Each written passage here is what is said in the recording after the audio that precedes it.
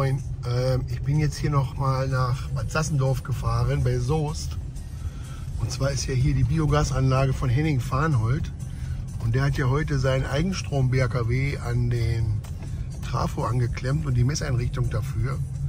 Und weil wir gerade hier sind und viele Biogasanlagen sich für den Strompreismanager interessieren, werden wir Henning heute noch mal bitten, uns zu erklären für seine Kollegen, wie er mit dem Gerät umgeht und was er für Anpassungen macht äh, für seine Software. Das hier beim Henning in der Anlage aus. Da unten der grüne Koffer, da ist der Router drin und da war die Loxone drin, ist sie jetzt nicht mehr. Hier hat er seine Monitore. Hier ist das Kommunikationsmodul, das spricht mit den Messgeräten und sendet die Daten von hier aus an die Datenbank für das Stromfee-Tagebuch und für die Loxone. Das ist hier so ein mobiles Gerät, das ist mit, einfach mit Magneten zu befestigen. Da ist eine Antenne. Das kann überall ganz kurzerhand eingebaut werden, angebaut werden. Und dann geht das in Betrieb. Das geht über WLAN und über Funk. Mit den Messgeräten über Funk und mit seinem Switch da hinten über WLAN bzw. das Switch an den Router und hier an das LAN. Da ist er auch schon. Da ist der Trafo. Hier haben sie die Kabel verlegt. Und hier ist die, die Messstelle. Hier wird das äh, Eigenstrom-BKW angeschlossen. Da, ne? Der neue Schrank. Okay. TV wird noch äh, gelegt. Die Ja. Ja, das- ja.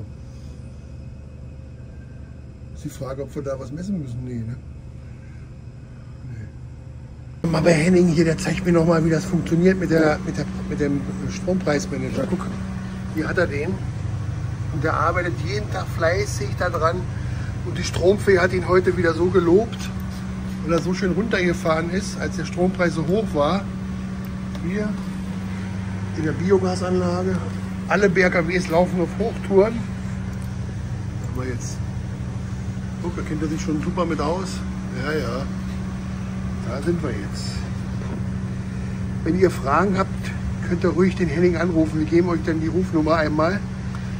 Und viel Zeit hat er nicht, aber er hat Erfahrung mit der Software, mit der Loxone hier unten und wie das mit seiner Software zu verheiraten geht.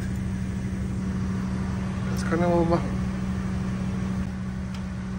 So. Geht der Strompreis heute nach unten. Am 14.12. hat er große Mühe, die ganze Nacht das Futter in die Behälter zu bringen. Jetzt ist er hier unten in der Loxone drin. Da sieht er genau, jetzt ist dieser Zustand. Der Strompreis ist auf Maximum, es ist grün.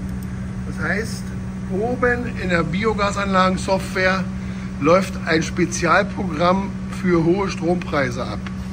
Vier Spezialprogramme sind hier eingestellt. Hohe Strompreise, maximale Strompreise, minimale Strom, da hat es. Extra programmieren lassen von seinem Superprogrammierer. Die sind da voll auf Draht.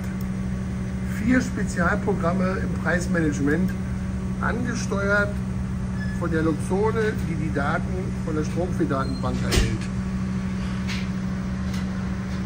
Das ist jetzt die Seite von einem Fermenter. Bisschen, ne? Ja. Ich habe jetzt günstig, unter, Überschnitt und Maximum. Maximum ist ja aktuell aktiv. Ist ja hier in der Loxone auch aktiv. Ja. So, und ich habe hier eine Pausenzeit von 300 Ja. Minuten, was extrem lang ist. Nach 300 Minuten rührt er 15 Minuten Rührwerk 1, Okay. dann 8 Minuten Rührwerk 2. So, und in dem Zustand über dem Tagesdurchschnitt Pause 45 Minuten, Untertagesdurchschnitt 30 und bei günstig habe ich das auch bei 30 in meinem Fermenter. Im Nachgärer kann ich nur rühren, Untertagesschnitt oder wenn es Ach so. günstig ist, da habe ich die anderen Auswahlmöglichkeiten Ja. gar nicht. Und äh, im Endlager und in der Vorgruppe Ja. habe ich nur günstig. Okay. Da kann ich gar nicht rühren. Ja, das richtig, teuer ist. Es sei denn, wenn irgendwas sein sollte, Ja, ja. dann stell, kann ich hier über dieses Schieber zum Beispiel Ja, Endlager rühren, stelle ich das aus, dann würde er natürlich rühren äh, in der normalen Maske, die ich so ja, habe. Ne? ja, das meine ich, dass man da eine Hand. Aber das ist ja so das normale äh, Programmierfeld, wie es sonst immer war. Ja,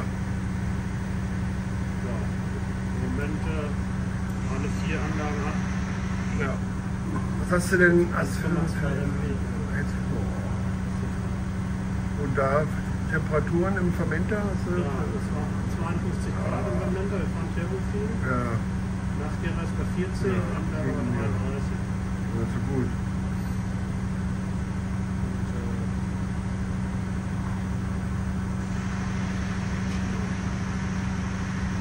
Bildschirm hier rechts, das ist die Wärmenetzverteilung. ne? Ja, das, das habe ich eben gesehen. Da siehst du ja auch in KW die Abgänge, wie viel KW da rausgehen. Ja. Hier jeweils, ne? Das sieht man halt auf diesem Bildschirm in Form von einer Grafik. Genau. Ohne Visualisierung der zeitlichen Verläufe keine einzige Chance. Monitoring Wärmenetz, meine Lieben. Ganz wichtig, die Winter werden sehr kalt demnächst, weil das Gas so teuer ist und die Wärme richtig, richtig viel kostet. Tischkühler laufen lassen ist das Dümmste, was man machen kann im Winter. Leider. Genau das. Zeitliche Verläufe. So sieht das aus, wenn der Elektriker das anständig verlegt hat. Integriert im Schaltschrank und dann mit den Modulen hier oben verknüpft. Acht Kontakte sind jetzt erstmal frei, vier werden schon benutzt. Der fünfte geht gleich weg fürs Eigenstrom-PKW. Das haben wir schon besprochen. So sieht das aus. Wir sind hier beim Biogas-Profi. Da hinten ist das Eigenstrom-BKW. Alle Maschinen laufen Volldampf. Hier wird voll das Netz gestützt. Volle Kanne. Und das geht hier. Ist die Gaserzeugung. Wir reinigen einmal ein bisschen. Schön langsam, immer in Bewegung halten. Damit das Das hat jetzt 300 Minuten nicht gerührt, ne?